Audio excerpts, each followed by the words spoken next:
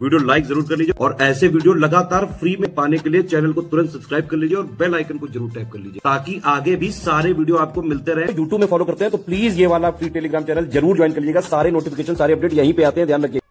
नमस्कार दोस्तों आप सभी का स्वागत है स्टडी फॉर एग्ज़ाम्स में।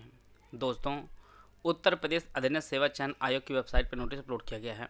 यह जो नोटिस है यह 2016 में वैकेंसी निकाली गई थी। सम्मिलित तकनीकी सेवा सामान्य चयन परीक्षा 2016 और आयोग जो है 2016 के बाद जागा है और 2023 में इसका पेपर आयोजित करने जा रहा है और इसका जो पेपर का आयोजन किया जाएगा, वह 26 मार्च 2023 को इसका पेपर आयोजित होगा रविवार को और यह जो पेपर आपका आयोजित होगा, वह 10 से 12 के मध्य दो घंटे का पेपर आयोजित होगा। और मुझे उम्मीद है कि बहुत सारे लोग होंगे ऐसे जिन्होंने फॉर्म भरा होगा और उनके पास अपना रजिस्ट्रेशन नंबर नहीं होगा।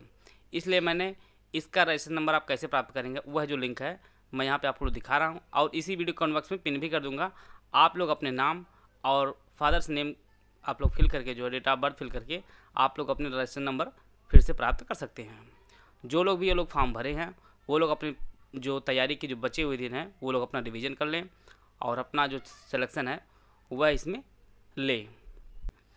UP triple S C one दरोगा सहित हमारे कई पेड ग्रुप चल रहे हैं। अगर आप हमारे पेड ग्रुप से जुड़ना चाहते हैं तो दिए गए नंबर पर कॉल कर जानकारी प्राप्त कर सकते हैं।